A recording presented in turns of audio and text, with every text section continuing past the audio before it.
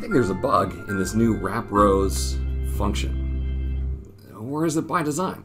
Let's take a look. Okay, so wrap rows will take an array and wrap that into columns, right? So if we did wrap rows, some array, and then four, it's going to take the items, there's 11 items in this array, and arrange it into four columns, and then go to the next row, and then go to the next row.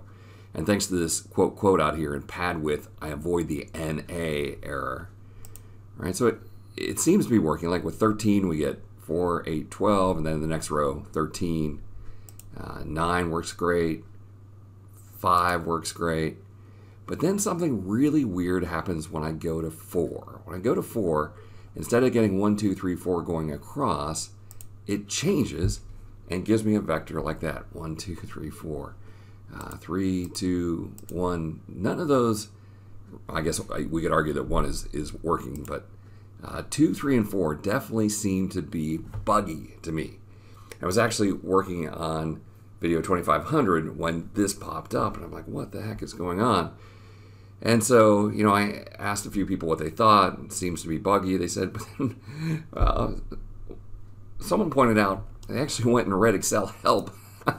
Who reads Excel help? Okay, in an Excel help, there's a statement there that says that if the wrap count is greater or equal to the number of elements in the vector, if the wrap count, so if 4 is greater than the number of elements in the vector, 3 let's say, then the vector is simply returned without reshaping it, right? So if it was a vertical vector, 1, 2, 3, it just returns the vector.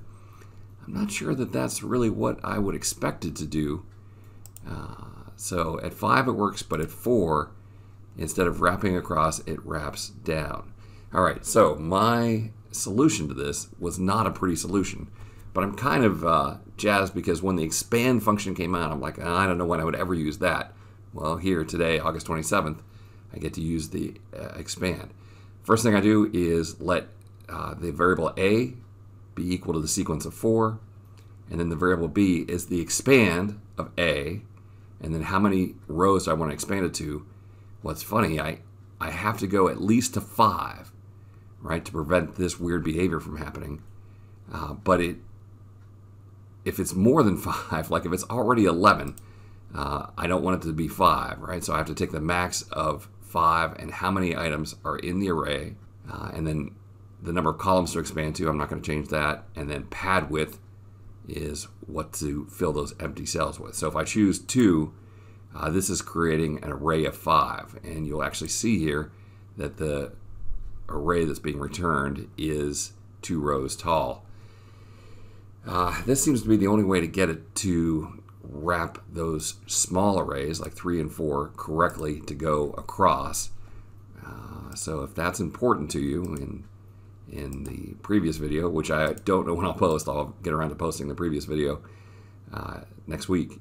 Uh, I'm going to have to use this workaround uh, to prevent the array that I want to go horizontal uh, from just switching to vertical at 3 or something like that. Well, hey, this weekend I'm shipping uh, Wyn Hopkins' new book on Power BI. It's called Power BI for the Excel Analyst. The first Power BI book that's really written exclusively for people who are using Excel you know, shout out to Mike Girvin. His uh, Microsoft 365, the only app that matters, has a book length section all on Power BI. And, uh, you know, certainly that is aimed at Excel folks as well. It's a full color book. We have early copies. This doesn't come out at Amazon until November 1st, but I snagged three boxes from the printer and we shipped one and a half boxes yesterday. So if you're watching this, click that eye in the top right hand corner and free shipping to the USA for people outside of the USA, uh, yeah, we're just gonna have to wait until the books get to your uh, local Amazon and then buy there on November 1st. I want to thank you for stopping by. We'll see you next time for another netcast from Mr. Excel.